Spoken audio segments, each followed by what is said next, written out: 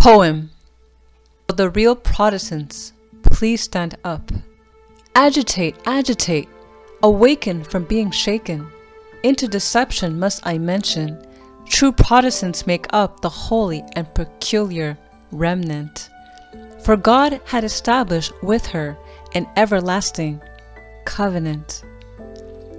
His bride unspotted, unblemished, holy and pure. God is seeking to make us ready, our calling and election sure.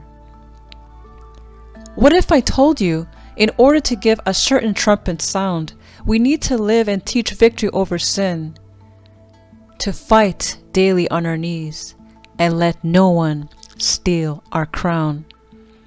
Do we have fire burning within us to truly proclaim the three angels' messages to set the example and not to blaspheme God's name?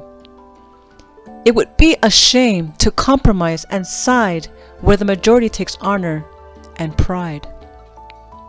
In trampling God's law, especially in the fourth commandment, that distinguishes him as our creator, of him we must represent.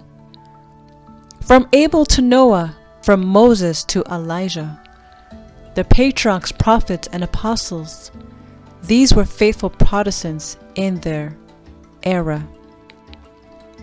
Even John Huss, Zwingli, Martin Luther, Lefebvre, and Calvin, who stood unwavered and conquered through shame, turmoil, and persecution. Must I mention the King of Kings and Lord of Lords? Jesus Christ, a true Protestant, was full of courage and not a coward.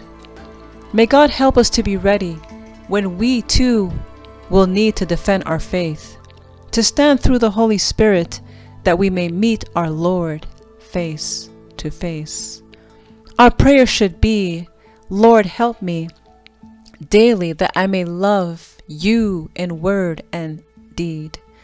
The Lord is seeking men and women who are truly seeking the kingdom of heaven, for this is his greatest need.